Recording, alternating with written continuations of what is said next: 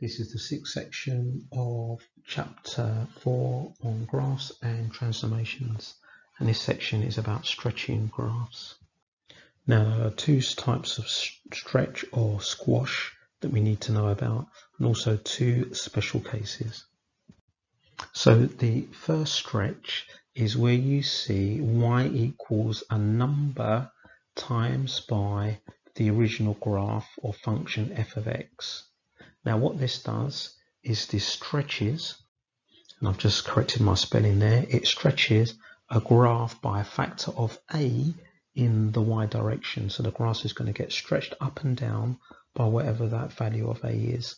Now one way to help you do that is to take any y coordinates of the graph and multiply them by a. You leave the x coordinates unchanged, but you multiply the y coordinates by a. Now the second stretch or squash as I call it is where you get the number in the brackets.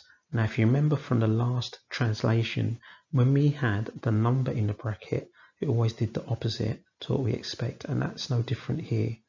So A doesn't stretch the graph it squashes it uh, by a factor of A which is the same as stretching by uh, a factor of 1 over A in the x direction. Now notice with the translation, when it was in the bracket, what did it affect? The x direction. When it wasn't in the bracket, it affected the y direction. So there's some similarities here. So squashing by a, or you can think of it as stretching by 1 over a.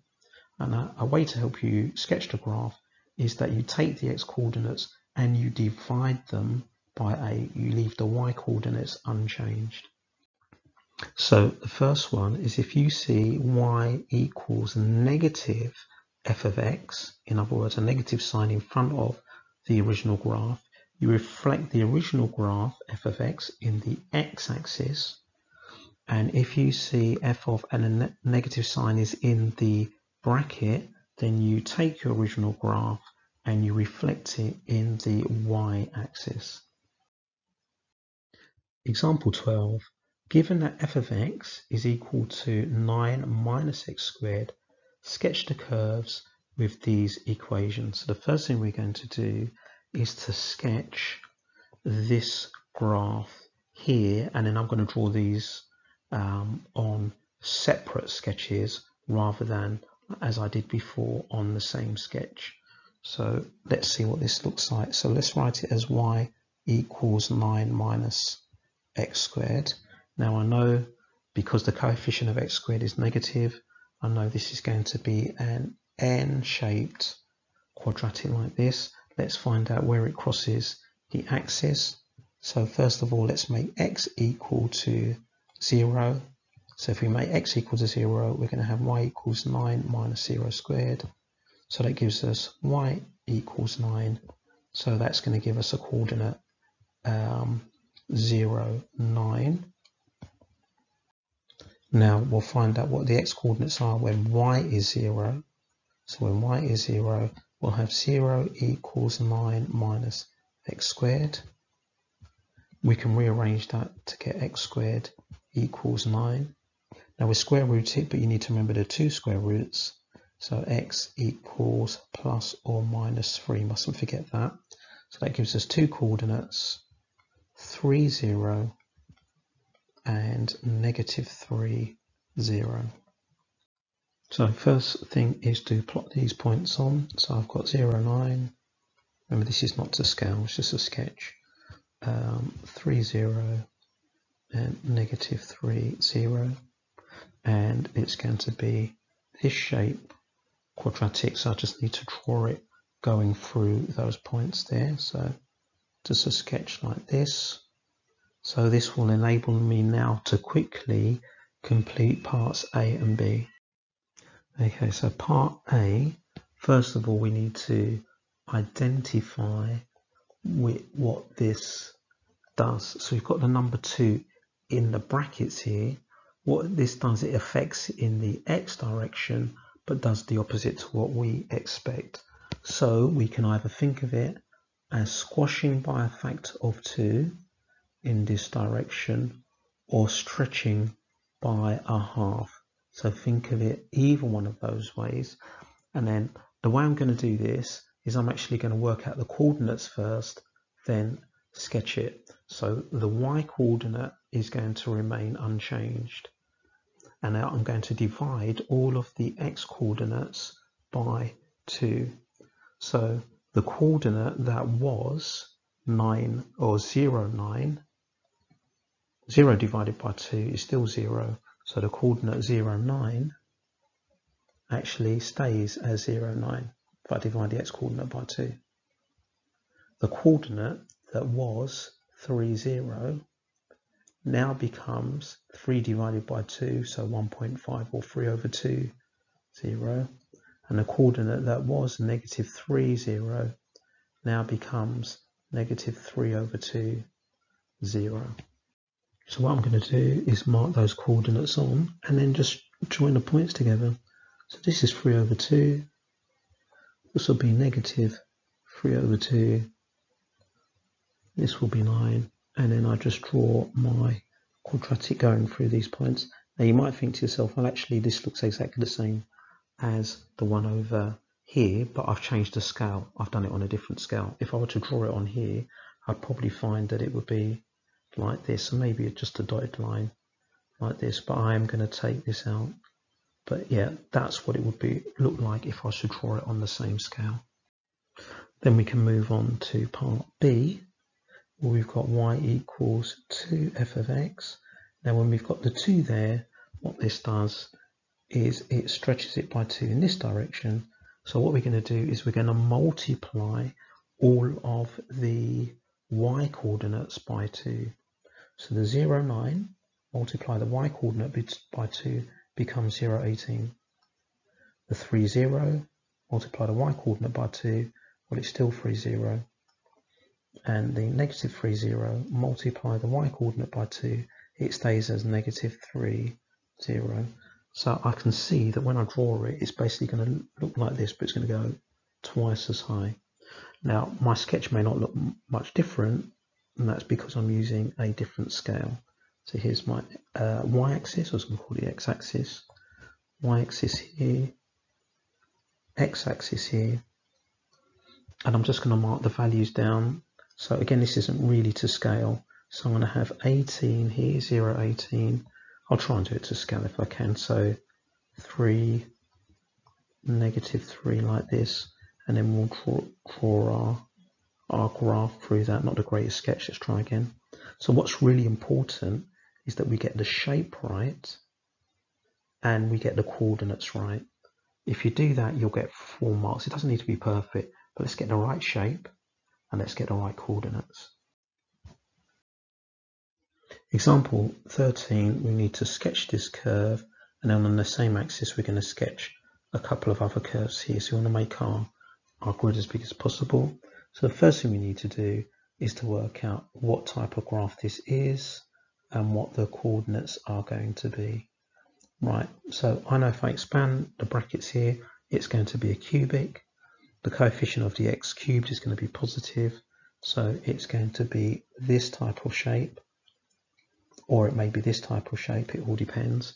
We'll work that out once we work out what the values of the coordinates are. So let's start by making x equal to 0. So if you make x equal to 0, we'll have y equals 0 times by 0 minus 2 times by 0 plus 1. Well, I can see that's going to give me y equal to 0. So that gives me the coordinate 0, 0. Then I'm going to see what the values of x are when y is 0. So if you make y equals 0, we end up with 0 equals x times by x minus 2 times by x plus 2. So what values of x are going to make this equal to 0? Well, x equal to 0 will do. And x equal to 2 from the second bracket. And then x equal to negative 1. So if I write those coordinates down, the first one's going to be 0, 0, which I've got already. Then the other coordinates are going to be 2, 0, and negative 1, 0. So I've got all the coordinates I need to draw my cubic. Now my cubic's not going to be bouncing off any um, axes because I haven't got any x squared, so it's going to cut through all of those points. So we'll mark the coordinates 0, 0, 2, 0, put 2 there, and negative 1, 0. So let's put that there. Then all we got to do is to join the points.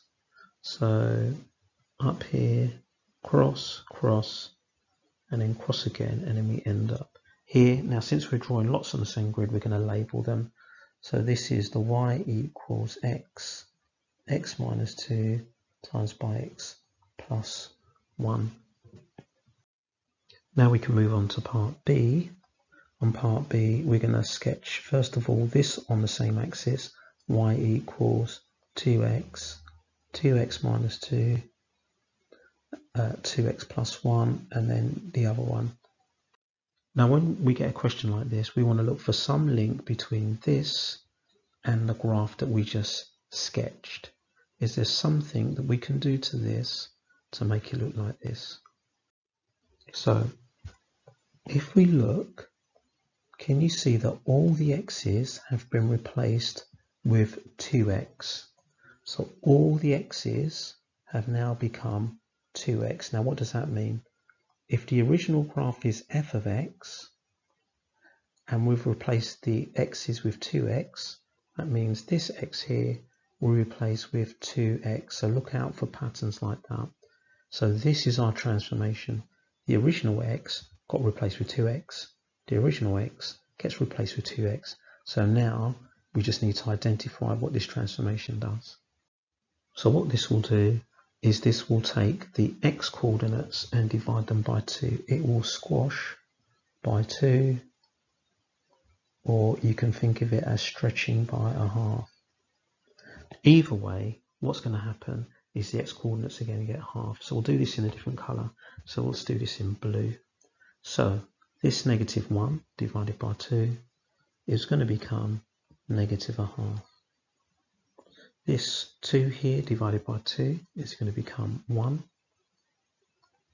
And the 0x coordinate stays as 0. So let's put that there. And we're just going to draw the same type of shape, but now going through these points. You can see how it's got squashed in this x direction, but the y directions remain unchanged. So it's still going to go to the same peak and trough down here, and that's important.